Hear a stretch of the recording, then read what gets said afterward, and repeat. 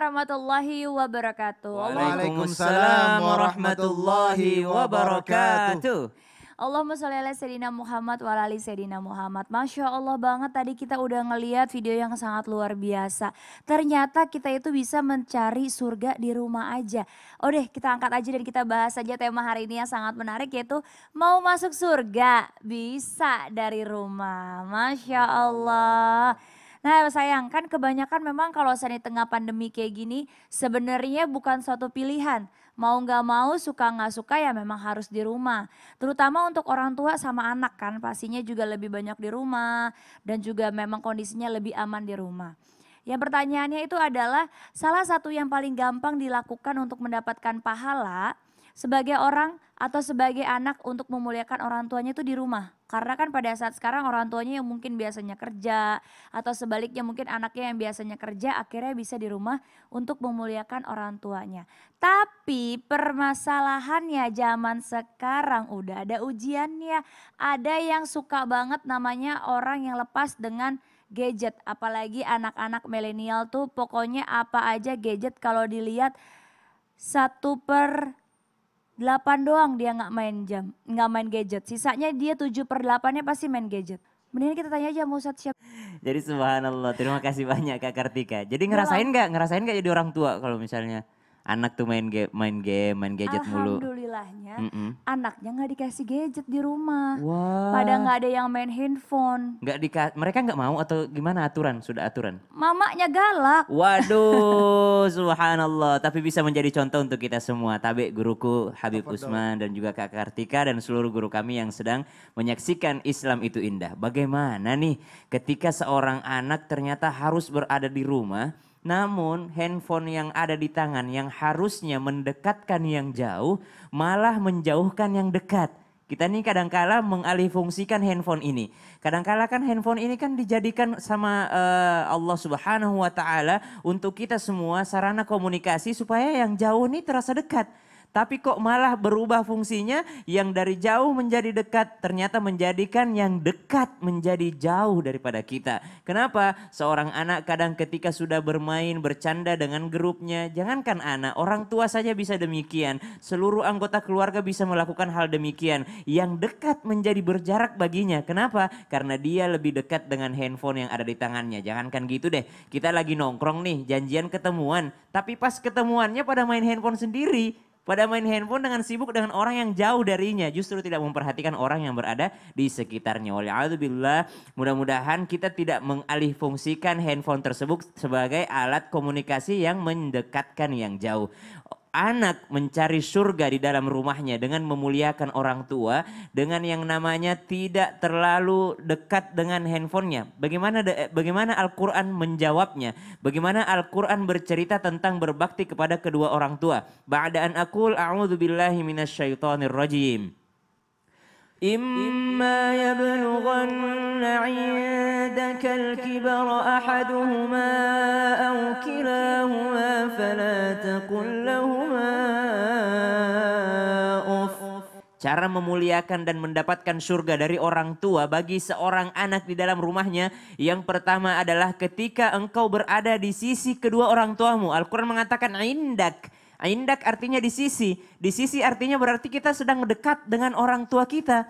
Ketika kita dekat dengan orang tua kita, berada di sisi kita, jangan kita menjadikannya jauh dari kita. Bagaimana contoh anak yang menjauhkan orang tuanya darinya?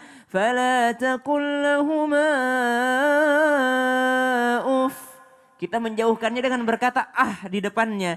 Kita menjauhkannya dengan berkata ah mama ganggu banget sih orang lagi sibuk aduh mama ganggu banget sih orang lagi main ini, mama ganggu banget, bapak ganggu banget sih, papa ganggu banget, ayah ganggu banget sih. Nah itu salah satu menjauhkan orang tua dari sisi kita dan kita menjauhkan surga dari kita. Banyak seorang anak keluar dari rumahnya mencari kajian ke mana-mana, mencari ceramah di mana-mana, mencari masjid untuk mendapatkan pahala. Tapi ternyata pahala terbesarnya berada di dalam rumahnya. Seorang datang kepada baginda Nabi, ya Rasulullah izinkan saya ikut berjihad. Maka apa jawaban baginda baginda Nabi Shallallahu Alaihi Wasallam, apakah orang tuamu masih hidup? Masih ya Rasulullah. Kata baginda Nabi, kalau begitu jihadmu adalah berbakti kepada kedua orang tuamu. Ini adalah contoh yang luar biasa bagaimana kita tidak perlu keluar rumah untuk mencari yang namanya surga. Kita disediakan surga oleh Allah Subhanahu wa taala di dalam rumah kita. Jangan sampai ketika nanti surga tersebut sudah berada di liang lahat baru kita mencarinya, baru kita menangis di atas pusara ibunda kita, baru kita menangis di atas pusara ayah kita. Kenapa dulu saya tidak berbakti?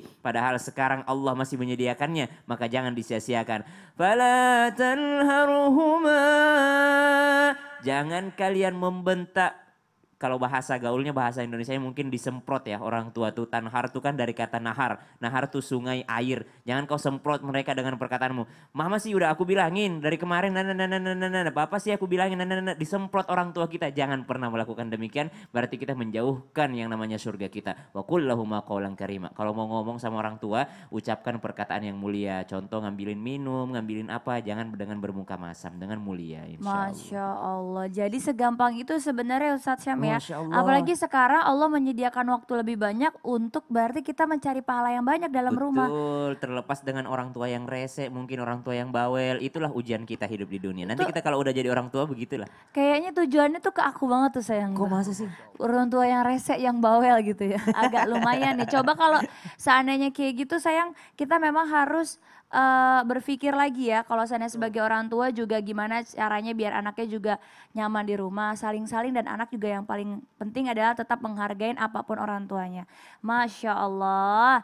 Nah sama seperti ada yang video satu ini juga yang akan uh, kasih lihat ke Habib Usman sih sebenarnya tapi izin dulu Ustaz Syam ya. Kenapa sih emang? Enggak apa-apa. adegan 17 plus. Enggak. Aku udah 28. Enggak, ya enggak gitu sih. Coba deh, coba deh, coba deh. Coba Ini penasaran. ada video tentang seorang istri yang digombalin oleh suaminya. Wow. Bisa dipelajari nanti. Subhanallah. Ya coba kan? Yuk, coba yuk, mana yuk, mana yuk. Kelihatan banget lagi seneng kita lihat videonya ini dia. Kulihat dirimu hadir. Halo istriku. Halo, Assalamualaikum. Eh, hari ini hari apa ya, Dek? Hari ini hari Minggu, Mas. Oh, ya salah. Nah, terus? Hari ini kue cantik loh. malah lagu ini dari orang biasa. Sayang, kok senyum-senyum malah ngeliat kayak gitu kan harusnya aku yang senyum-senyum. Sayang jangan mau kalah dong. Itu aja bisa ngegombalin, sayang mau ngegombalin aku nggak? Maaf ya Ustadz Syam ya. Aduh. Coba mau belajar dong gimana sih Iya, kalau iya, Habib tuh gombalin Mbak Kartika gimana Sayang. sih? Uh -uh. Tahu gak apa bedanya kamu sama internet? Gak tahu sayang. Tahu gak Ustaz Sam? Gak tahu apa. Sayang itu. kamu tahu gak? Gak tahu. Kalau internet itu 4G. Uh-uh. Kalau kamu 4Me. Ah, Masya Allah, bisa aja. Makasih Vino udah bikinin skripnya. pakai skrip. Nah sayang, aku mau tanya juga sama sayang nih. Tadi kita ngebahas soal uh, mencari surga di dalam rumah. Salah satu buat ngedapetin surga itu kan bisa didapatkan dari seorang suami melalui istrinya atau mungkin sebaliknya juga. Tapi di zaman pandemi gini kan mungkin kebanyakan di rumah juga emak-emak kan ngurus sekolah online anak. Suaminya lebih banyak di rumah otomatis masak, harus masak, rumah jauh lebih berantakan. Biasanya anak-anak pergi ke sekolah, ada waktu istirahat sebentar, tapi kan ini anak-anak semua di rumah. Jadinya kadang-kadang suka bosen gitu di rumah kayak curhat jatuhnya saya ya. ya untuknya maksudnya gini, gimana caranya tuh kalau seandainya kita melulukan hati seorang istri yang sedang bosan di rumah, yang sedang capek di rumah, Ngambek. ngambek di rumah. Ini pertanyaan saya banget nih sebenarnya. Saya silakan sayang. Afwan. Afwan Ustaz. Assalamualaikum warahmatullahi wabarakatuh. Waalaikumsalam. Alhamdulillah. Alhamdulillahil wahidil ahad. Alladhi lam yalid wa lam yulad. Wa lam yakul lahu kufuwan ahad. Laisa kamisli syai'in wa huwa samiu'ul basir. Thumma fasalli wa sallim wa ala sayyidina wa habibina wa syafiina wa maulana Muhammadin sallallahu alaihi wasallam wa sahbihi wa azwajihi wa dhurriyyatihi wa ahlul bait ansari wa sari ma ba'du. Segala puji bagi Allah Subhanahu wa taala yang telah memberikan kita nikmat iman, nikmat sehat walafiat sehingga penonton di rumah yang menyaksikan Islam itu indah. Semoga yang menonton mendapatkan keberkahan dan ridhonya Allah Subhanahu wa taala dan bisa mengamalkan ilmunya dan mendapatkan keberkahan ya Allah. Amin. Amin ya rabbal alamin. Bismillahirrahmanirrahim. Allahumma sholli ala sayyidina Muhammad wa ala ali sayyidina Muhammad. cara meluluhkan istri yang sedang ngambek. Yang pertama, mengikuti daripada sunnahnya Nabi besar Muhammad Shallallahu Alaihi Wasallam memeluk istri. Rasulullah Shallallahu Alaihi Wasallam menyuruh yang namanya Siti Aisyah yang ketika waktu keadaan tersebut Rasulullah sedang marah kepada Aisyah untuk memejamkan matanya dan memeluknya dengan berkata, ya Khumairah. Sama, kalau misalkan aku di rumah juga, betul gak sayang? Di rumah kalau misalkan istri yang lagi ngambek, samperin, bisikin, wahai bidadari surgaku, sayangku, cintaku, peluk. Samperin, hampirin, lihat mukanya, dipeluk. Karena apa? Wanita ketika dipeluk merasakan kenyamanan, merasakan ketenangan. Sehingga dunia milik berdua. Ustaz saya betul gitu? Gak tahu. Nggak tahu. Yang di mana meyakinkan bahwasanya mendatangkan sebuah keamanan, kenyamanan, dan ketenangan. Dibaikin, disayangin, dipeluk, diberikan ketenangan, dibisikin. Dibisikin apa? Dengan kalimat-kalimat yang baik. Jangan ketika disamperin, mau ngapain lu nyamperin gue? Udah ketakutan duluan. Karena suaminya biasa memukul ataupun galak. Jangan. Seorang suami harus berkata-kata baik, jangan ringan tangan, harus lebih lembut. Yang kedua, menyentuh wajah istri dengan kasih sayang sambil sentuh hidungnya, belai eh, rambutnya, pegang pundaknya, pegang lehernya. Karena ketika pada waktu Aisyah radhiyallahu an disentuh hidungnya oleh Rasulullah SAW berkata, Ya Humairah, ya kan? Ya Humairah. Rasulullah SAW bilang, Ya Humairah, Ya Humairah. Bacalah doa. Jadi kalau misalkan istri lagi ribut, galak dan lain sebagainya, suruh baca doa. Apa doanya? Wahai Tuhanku, ya Allah ya Tuhanku. Wahai yang menciptakan hamba, ya Rob, ampuni dosa-dosaku, hilangkan rasa keras hatiku. Minta dilembutin nih hatinya, agar tidak menjadi hati yang ke- keras. Dan lindungi aku dari fitnah yang menyesatkan. Berharap dengan menyikapi dengan kasih sayang yang baik. Bahwasanya, ya Allah sentuh hatiku. Hatiku ini biasa melayangkan sebuah emosional. Masuk ke pikiranku, lidahku kotor. Lidahku tidak baik, pikiranku tidak baik. Sehingga apa? Aku emosional, aku galak. Mungkin aku dirasuki oleh syaitan. Ya Arab, sentuhlah hatiku dan jiwaku sehingga aku mendapatkan ketenangan. Sikapi dengan kasih sayang yang baik. Kata-kata yang baik. Dengerin. Kalau misalkan dia lagi ngomel, dengerin aja. Tenang dulu. Biarin. Berharap kepada Allah, ya Allah, jadikanlah aku manusia yang tenang, yang sabar. Karena istriku sedang masuk saya syaitan. Atau boleh juga dikasih. Nih sayang, kalau lagi ngambek-ngambek beli bunga, aku kasih hadiah buat kamu sayang. Makasih ya sayang ya. Semoga bunga ini bisa menenangkan hati dan jiwamu. Masya Allah. Dan hati kamu berbunga-bunga kembali. Masya Allah, tapi benar juga nih ya. Kalau Ustadz Syam kalau di rumah, kalau ada yang ngomel-ngomel, Habib dengerin sampai selesai. Kalau makin parah cuman, tuh sayang, terus kita nanya perempuan kan biasanya pengen dijawab. Ya. Terus gimana? Habib cuman senyum bilang, itu setan gitu. Masa sih? Ih, Masya ya Allah, Allah. ya. Padahal Habib, Habib dengerin beneran denger- dengerin, Dengerin, tuh. dengerin. Dengerin. Ngerti nggak? Ngerti? karena kan kalau perempuan marah biasanya ditanya balik, ngerti nggak maksudnya apa? Paham nggak gitu kan? Kalau perempuan kadang-kadang Hmm. suka lepas kontrol tuh kalau marah-marah. Habib Usman, iya sayang, iya, iya gitu. Kalau makin meledak-ledak, Habib udah rangkul segala macam, sayang ini setan. Nanti setan menang gitu. Langsung Masya tenang tuh Allah. Mbak Kartikanya. Ya harus tahu diri kalau udah dibilangin itu setan. Masa aku jawab, emang aku setan kan gak mungkin. Jadi kalau udah diingetin gitu mau gak mau kita malu akhirnya istighfar sama-sama. Yuk ambil wudhu gitu segala macam. Masya Allah ya. Tapi memang Islam itu seindah itu. Semasya Allah itu banget karena kita itu sebenarnya dimudahkan sebagai seorang istri juga diberikan tempat pahala yang luas-luas. Seluas-luasnya ketika menjadi seorang istri, pahala eh, bersama suami dan juga anak-anak. Tapi nggak cuman hal itu aja. Bahkan katanya Ustadz Syam, hal kecil aja tuh bisa membuka pintu surga juga masalah nyisir ya Ustadz Syam ya kalau nggak salah ya Ustadz Syam ya. Jadi katanya ada juga eh, balasan pahala yang sangat luar biasa dan surga karena masalah sisir. Nah itu gimana tuh Ustadz Baik. Syam bener nggak? Ya, tapi guruku Habib. Utsman dan juga Kak Kartika Putri dan seluruh jamaah yang sedang menyaksikan Islam itu indah, utamanya guru-guru kami yang dimuliakan Allah Subhanahu wa taala. Bagi orang yang beriman dan bagi orang yang berilmu, maka mereka tidak mau melewatkan perkara-perkara yang mubah ber- berlalu begitu saja. Artinya mereka tidak mau melewatkan perkara kecil berlalu begitu saja tanpa pahala. Jadi orang yang pandai itu adalah selalu menginginkan apa pun yang dilakukannya itu bernilai pahala. Contoh saja, orang biasa menyisir rambut itu kan hal biasa, mubah.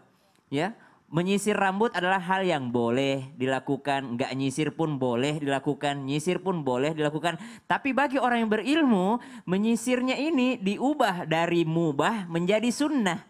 Dari mubah menjadi sunnah. Kenapa? Karena setiap kali dia menyisir rambut, dia mengingat bahwa ini adalah sunnah Rasulullah Sallallahu Alaihi Wasallam. Akhirnya yang dilakukannya berubah yang tadinya cuma biasa saja, menyisir dengan hal yang mubah saja, berubah menjadi menyisir yang sunnah. Kenapa? Karena ketika mereka menyisir, mereka mengingat baginda Nabi Sallallahu Alaihi Wasallam. Saya sudah sediakan sisir. Wah, disediakan biasa, sama biasa. disediakan sama kreatif gitu Oh, kan. kirain biasa bawa sisir, Ustaz. Enggak, bapakku yang sering bawa sisir. Bapakku juga. Kantong sebelah Ah, jadi kanan. kalau orang biasa nyisir ya kan perkara mubah gitu. Nyisir aja gitu kan, nyisir itu. Tapi kalau mereka yang tahu bahwa nyisir itu adalah sunnah, maka mereka akan mengikuti baginda Nabi Shallallahu Alaihi Wasallam. Bagaimana cara Rasulullah SAW? Di awal-awal periode, maka Rasulullah SAW menyisir rambutnya ke belakang. Nah, terlebih lagi bahwasanya Rasulullah pasti memakai yang namanya minyak. Ya, kalau anak sekarang kan pakai pomade atau pakai minyak apa gitu ya. Rasulullah memakai minyak ke belakang, ke belakang nyisirnya. Rasulullah Wasallam. Namun ketika eh, sudah mengetahui bahwasanya ternyata orang-orang pada saat itu ahlul kitab dari bangsa yang lain atau dari agama yang lain, mereka pada saat itu menyisirnya sama dengan sisiran bagi Nabi SAW, maka Rasulullah SAW merubahnya. Kadangkala Rasulullah ke kiri, tapi lebih banyak Rasulullah mengarah ke kanan beliau dan memula- melakukannya dengan tangan kanannya. Ah, dan di akhir-akhir Rasulullah Sallallahu Alaihi Wasallam melakukannya dengan cara belah tengah, sebagian ke kanan dan sebahagiannya lagi ke arah kiri gitu. Jadi itulah cara Rasulullah SAW menyisir rambutnya. Bagaimana kita dapat pahalanya? Dapat pahalanya setiap kali menyisir, maka ingatlah bahwa ini sunnah baginda Nabi Sallallahu Alaihi Wasallam. Kapan waktu Rasulullah bersisir? Ini paling penting nih. Waktunya setelah Rasulullah SAW yang pertama setelah berwudu. Rasulullah akan menyisir rambutnya. Yang kedua, sebelum Rasulullah Sallallahu Alaihi Wasallam tidur. Loh, kita kan biasanya kalau mau tidur ya tidur aja gitu. Tapi baginda Nabi Shallallahu Alaihi Wasallam menyiapkan siwaknya, menyiapkan minyak rambutnya, kemudian menyiapkan sisirnya, dan Rasulullah Shallallahu Alaihi Wasallam sangat memperhatikan penampilannya.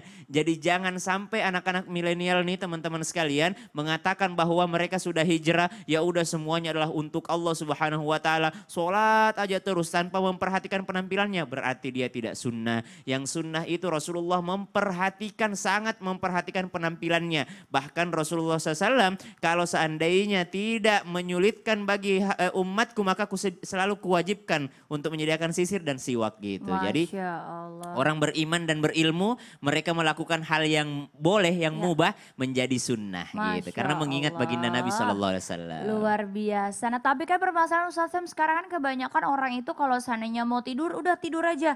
Karena udah terlalu capek, karena udah benar-benar eh, udahlah nggak peduli capek plak tidur gitu Ustaz. Anu biasanya karena begini ceritanya, apalagi kita itu di daerah, kalau madodo season dina seding, art- artinya dek nagaga jama-jamanna, langsung meni bawang, langsung lupa loka di kasur eh, hmm, alhamdulillah akhirnya selesai. Lah iya masalahnya juga kan repot ya kalau seandainya udah capek pulang ke rumah gitu kan biasanya orang tuh udah nggak peduli aja gitu. Langsung aja mangap lepek tidur Ih, ya kan nggak peduli Namanya lagi juga orang capek, doa, masa lupa. mau lagi berkegiatan kan capek mi orang, jadi langsung mami tidur, tapi ternyata tidak begitu najarkan ki Rasulullah. Lah iya masalahnya kan tapi kalau seandainya udah pekel tunggu, apalagi kalau bini. Yang satu ngomongnya pakai bahasa Bugis, satu ngomong pakai bahasa Lah tapi Tegal. kalau ngomong pakai bahasa Ngerti gak? Betawi juga boleh, nggak apa-apa penting akrab. orang nggak ngerti. Ngerti gak? Enggak juga sih. Ya yang Allah. penting akrab, yang penting komunikasi. yang satu ke kanan, yang satu ke kiri. Ya udah kalau gitu kita selesaiin dulu masalah kita pribadi di sini ya. Nanti lanjut lagi jangan ke mana-mana karena masih banyak lagi ilmu dari guru-guru kami. Tetap di Islam itu indah. Jamaah. Yeay. Oh jamaah. Yeay. Alhamdulillah. Alhamdulillah. Tapi yakin loh ada Jadi loh begitu, karena begitu memang. Subhanallah